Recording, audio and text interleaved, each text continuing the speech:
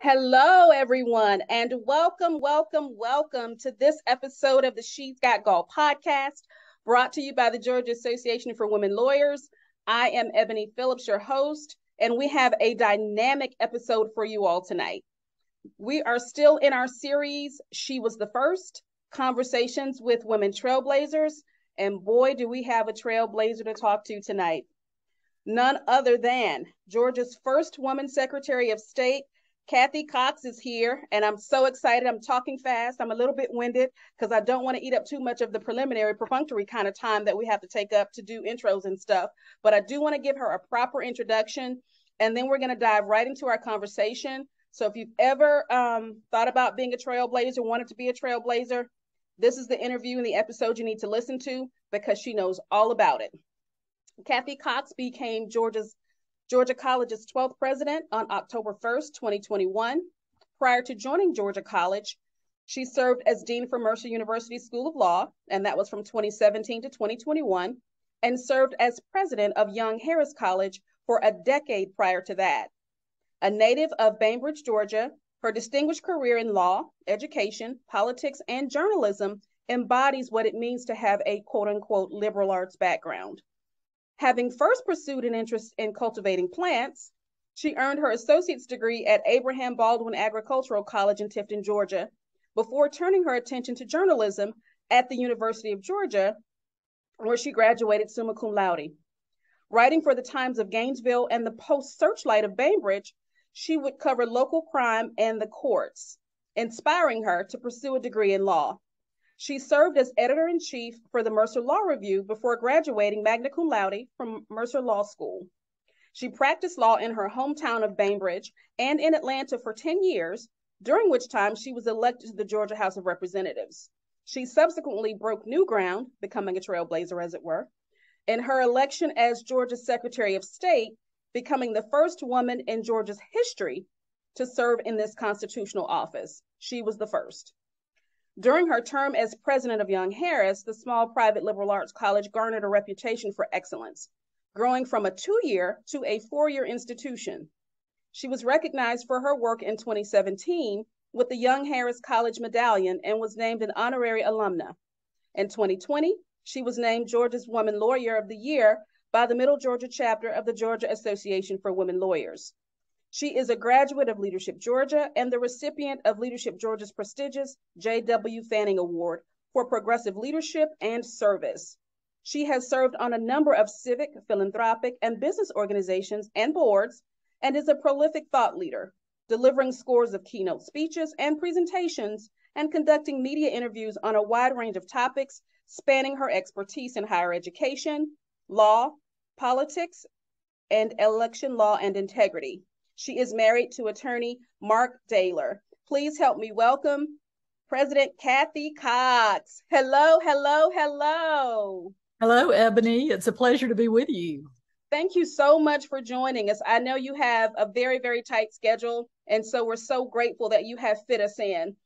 I wanted to just give a little bit of context to our conversation here tonight because one of the things that we're striving to do is to create um, value and valuable content for our membership.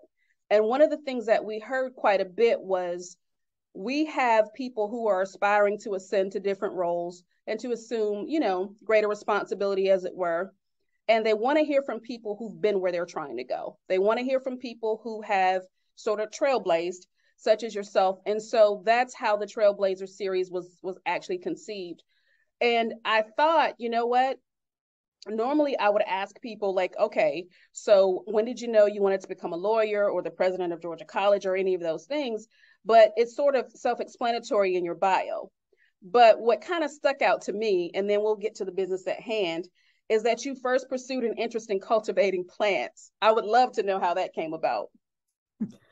Well, that's probably uh, sort of genetic. You know, I, I attribute that as much as anything to having two great gardener grandmothers. Uh, okay. Uh, as a child, I grew up with grandmothers who had big gardens, uh, everything from vegetable gardens and strawberry gardens to flower, camellia, uh, plant gardens, but I loved mm-hmm. working in the garden with my grandparents. Um, as a high school student, my, one of my first summer jobs was working at a plant nursery down in yeah. my hometown of Bainbridge. Um, so that was my first. If you look at my social security statement, you know that you get start getting in the mail. It, right. I, I earned this pittance of about $250 that summer working oh at the goodness. nursery in Bainbridge, Georgia. But I really did um, love working with plants, and I still have a green thumb. Uh, after I interned, I started majoring in plant science, agriculture at Abraham Baldwin Agricultural College in okay. Tifton, Georgia. I interned as a horticultural intern at Callaway Gardens one summer. And um, Oh, that Callaway. summer was a real awakening. It was beautiful. If you've ever been to Callaway Gardens, oh, yes. you learn to do everything yes. to perfection. They yes. rotated students around the garden. But after pulling weeds in 100 degree weather next to PhDs in botany, I said, you know, maybe I should have a job in the air conditioning somewhere. um, and I really did change my major after that. But I, so I now say plants are my avocation, uh, but I found another uh, pursuit for my actual major and changed to journalism when I got to the University of Georgia. Oh, I love that. I absolutely love that. Go dogs. Um, so I was looking at um, sort of just some facts and figures, and we know that you are the first woman Secretary of State um, for our state in Georgia. Um, what people may not know is that I believe you were the 25th Secretary of State, if I'm not mistaken about that. But what kind of struck me even more than that is that you were elected or served in like around 1999 to 2007. So not only were there 24 other secretaries of state who had every single one of them been a man, but we made it almost to the year 2000 before we elected a woman to that office. I just want the, the audience to let that sink in for a minute. Like we're not talking about, you know, the early 1800s. We're talking about almost the year 2000. What um what was that well, journey like? Well, before I answer the question, to your point, run down the list of all of the constitutional offices in Georgia. Mm-hmm. There are still only two that women have served in the Secretary of State's office and the school superintendent. Wow. We have not had a woman insurance commissioner. We have not had a woman agriculture commissioner. Wow. We have not had a lieutenant governor or governor as a female. So wow. we've still got a long way to go and it's 2022. So wow. And so, you know, that kind of puts the whole conversation in the series in in perspective in a way because although we have a lot to celebrate and women such as yourself have made great strides there's no doubt about that. But there's so much more that we we have to do to keep moving the needle forward. Um and so wow i'm sorry that just and, maybe for our audience in particular we've never had a woman as the attorney general of georgia mm. so you can go down the list yeah women still yeah. have strides to make and it and it's time. It's beyond time. Yeah. So GAWL members, y'all hear that? The, there are positions available for trailblazing. That's um, right. We've and, got and, trailblazers on the ballot this year. Love it. Love it. Love it. Love it. Um, but what was that journey like? I know that um, you know, sometimes you have to make a lot of sacrifices to succeed. And so when we see you getting sworn in and there's maybe a, a big parade or however they do it, nobody except maybe your inner circle kind of knows what that journey was to get there. Um, and I'm just curious because reading your your bio, it seems like wow, this thing just went from one to two to three to four to five, and just almost flawless execution as it reads on paper, right? But we know that it it, it never goes like that. Um, what part of the the journey do you think was the most challenging um, but also the most rewarding? That that's an excellent question, um, and it does often look pretty easy on paper. Uh, to to my family uh, and friends who were there with me along the journey, they know it, it was not necessarily right. an easy path. Um, it, it was um, both when I first ran for the legislature in 1992 in okay. Southwest Georgia, where they had never elected a woman to the House of Representatives, um, and when I first ran for Secretary of State. Every week, some at least, if not daily, I had to answer the question seriously, people would ask me, they were not ashamed to ask me, Do you really think a woman can do this job? Uh, oh, wow. Because people had not seen it. And, wow. and it is so that's why it is so important to have mm-hmm. diverse faces in our political offices, in all right. offices of leadership, uh, business or elected office, because seeing a different face makes a difference to generations of people that come after us. But people had not seen it. And week after week, when I was running for Secretary of State, mm-hmm. people would say, I'm not sure a woman can do this job. And I would say, it does not involve heavy lifting.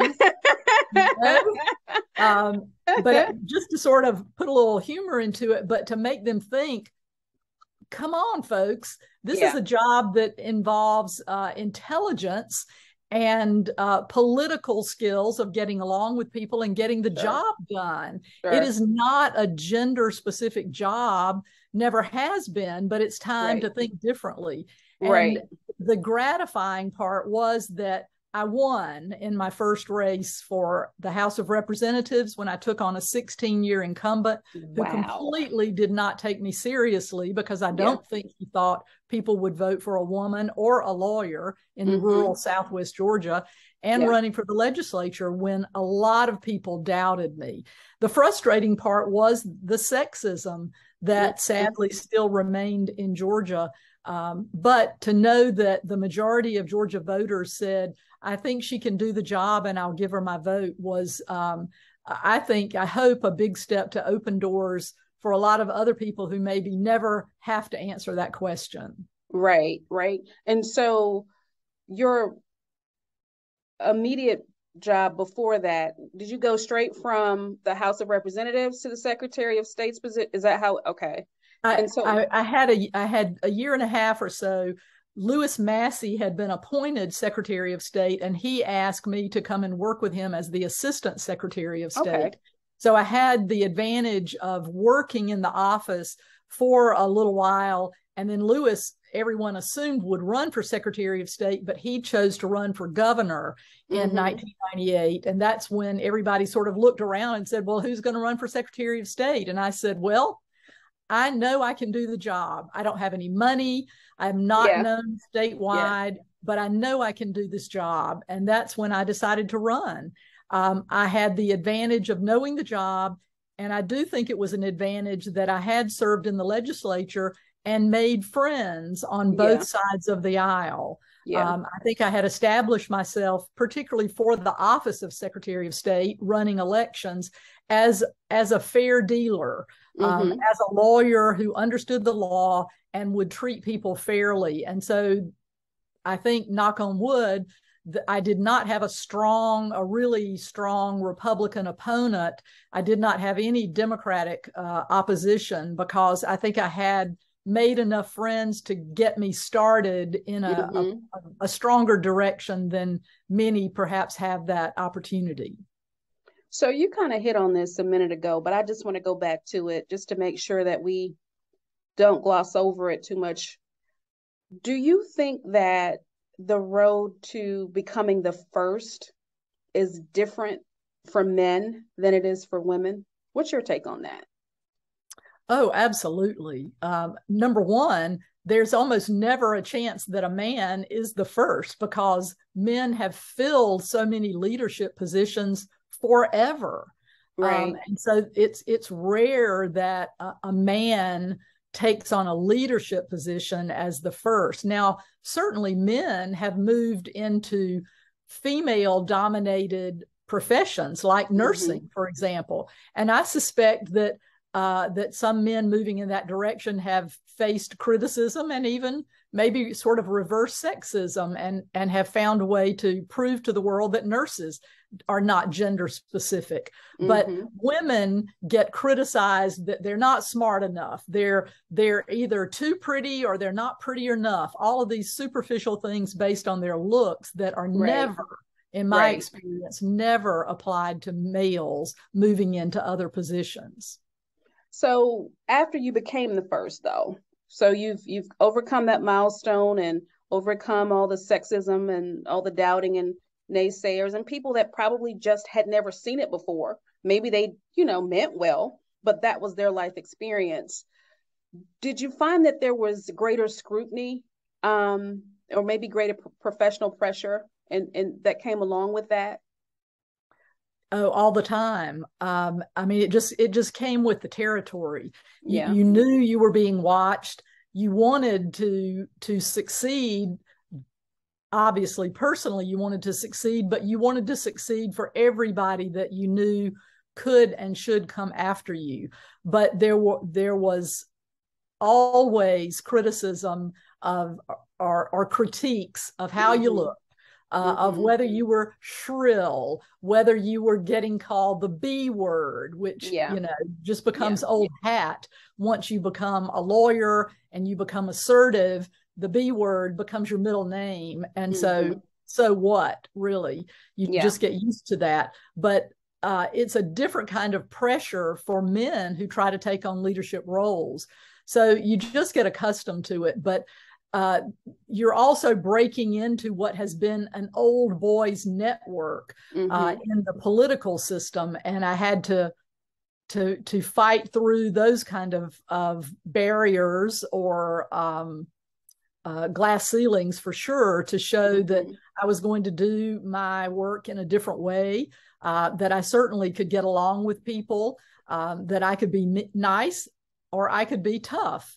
Right. Um, uh, I didn't choose to pick a fight, but I certainly wasn't going to run for it, run from it if that was going to be necessary to get my point across. And right. so eventually people learned that about me. So you've blazed a trail and you're a shero to a lot of us. Um, your name comes up often in those types of conversations. But I was just wondering, um, who is it that you admire? Who is it that you look up to and why? Gosh, there's a long list um, of men and women. You know, there mm-hmm. there were certainly uh, men. I mean, number one was my father, who was not a lawyer, but he was in the legislature. He was in politics really all of my childhood. And I, I learned how to be a, I think, a, a good public servant from his role.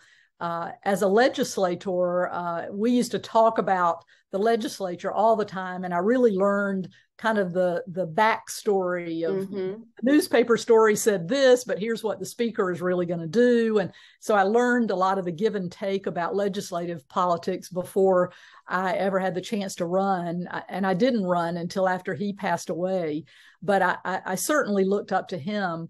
But even while he was living and I had the chance to intern in the Georgia legislature, uh, there were a, a, small handful of women serving at the time. Um, Cathey Steinberg from Metro Atlanta, Eleanor Richardson from DeKalb County. I just adored those women uh, because they were real trailblazers back in the day when there was not even a women's restroom uh, mm. uh, for women members of the House of Representatives, and they had to go out down the hall, find a public restroom.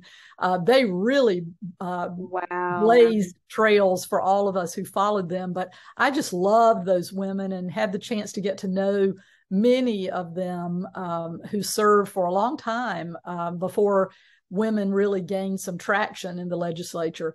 As a lawyer, uh, going to Mercer Law School, um, I, I, really admired Ruth West, uh, who was the second woman to serve as the editor in chief of Mercer's Law Review. I was the third, but I just, I was really, I had a girl crush on her uh, forever and still do. She lives up, uh, she's retired up around uh, Lake Burton in Rabun County now. And mm-hmm. I, I, do keep in touch with her, but I thought she was beautiful and smart and brilliant. She had a job at King and Spalding. Uh, she had made it in the big leagues of mm-hmm. big law and uh, from Mercer. And I just thought she was everything. And she was always very kind to me uh, over the years as a student, as a young lawyer, and uh, and even now as a as a college president. We keep in touch. That's awesome. What is uh, you mentioned a number of people, and so it sounds to me like you are open to receiving. Um, people are throwing around the word mentorship, advice. I don't know what it's called today. You know, it changes from day to day. But what's the best? And I'm sure you've gotten a lot, but if you had to just pick, just for purposes of our conversation, what's the best career advice you've ever received? That, that's a tough question, and and I, I don't have a complicated answer. Um, it, it's just really to of mentors, particularly in in law practice, of just doing the best with whatever is put in front of you, and mm-hmm. a- always asking for more. Uh, because always especially early early in your career, you you build your reputation uh, from your early partners who give you work, and a you just want to do good work, but mm-hmm. you build a reputation of are you checking out at five thirty every day or six o'clock, or are you walking the halls to see who's still working and say.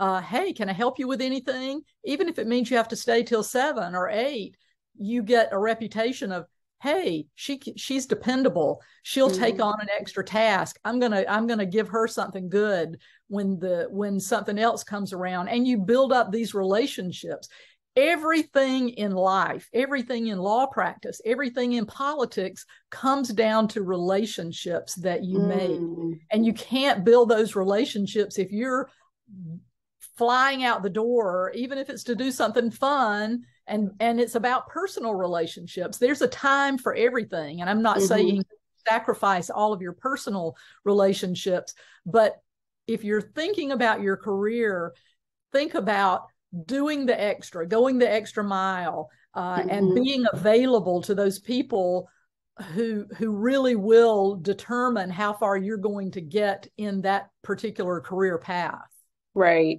right i think that's excellent excellent advice I wrote down it's relationships and I underlined it like three times after you said it because I think that's so key. And I feel like the earlier that we can learn that, um, the better off we'll be because sometimes we get caught up in the academics of law school and the reading the case file and the this and the that. Um, but it really is all about relationships.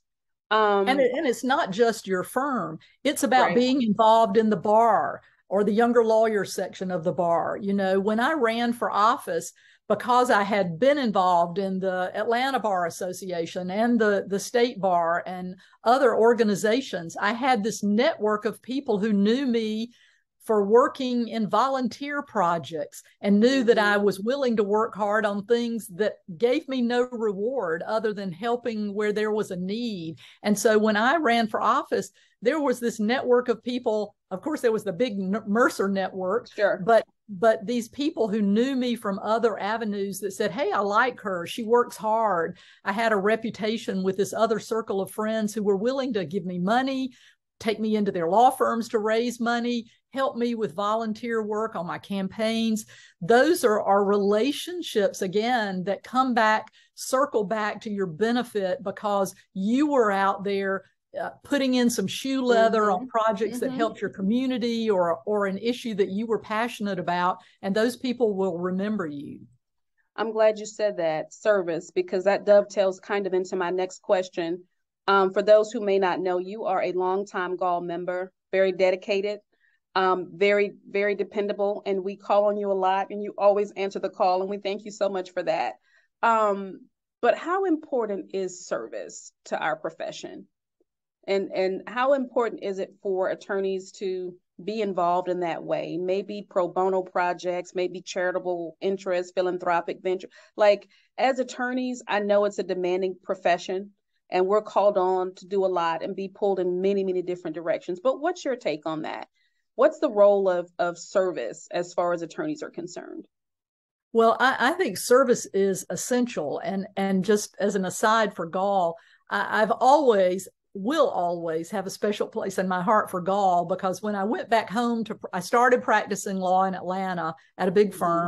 When I went back home to practice in Bainbridge, I was the first and only woman in 11 counties in Georgia. So there was no GAWL chapter wow. to be had. I would have killed to have had a GAWL chapter wow. or, or, a GAWL lunch or a GAWL meeting. You know, so I will always support GAWL because to have sisters in the profession was not something I had for a long time when I practiced in Bainbridge. But again, it goes back to what kind of reputation do you want to build and what kind of reputation do you want lawyers to to have mm-hmm. each one of us i think has a responsibility to our profession to further the reputation of our profession lawyers right. get a bad knock of being greedy and selfish and mean and ugly from a television right. version of a lawyer right we all individually have a chance to blow that reputation out of the water by being the caring people who are there for the simple things and the complicated things. You know, I, have said this so many times when I was the dean at Mercer Law School. Law, lawyering, and legal education, we train people to be problem solvers. Yes. And so, whenever we can use our legal training, our skills, uh, our focus to help people solve problems, we have such a tangible impact on the lives of people, our clients, mm-hmm. or when we do pro bono service, we change the lives of people for good and forever. I still, I mean, I have not actively practiced law in a long time, but I still run into people who say, "You handle my mother's divorce. It, she will love you forever. You handle my father's." Wow. I, I, I, had a, wow. a, person here at Georgia College. We will never forget you. You handle my father's divorce. Wow. Uh, you know, it was a long time ago, but they remember every aspect of what I did for them in a divorce case uh, way down in Bainbridge, Georgia. So don't think that every little aspect of what you do for a client goes unnoticed. It, it makes a lasting impression for the actual work you do and for those service hours that build your reputation and build the reputation of our profession. I love that. I love that perspective because I think you're exactly right. And lawyers are uniquely positioned to impact lives in a way that no other profession um, can do. And so that's what we're called upon to do. We're going to um, be wrapping in a couple minutes, but I did want to to ask you, kind of off topic, but sometimes I do that. Um, I'm curious. I find you to be very interesting. And so I'm like, wow, she was cultivating plants. I just would have never saw her picture in the encyclopedia and thought plant cultivator or any of that. Although I do love your background, it looks incredibly zen. Um, but what is uh, maybe a little known fact? I mean, there's been so much written about you. I don't know that we could even find a little known fact, perhaps on our own without you helping us. Um, a little known fact that maybe people don't know about you.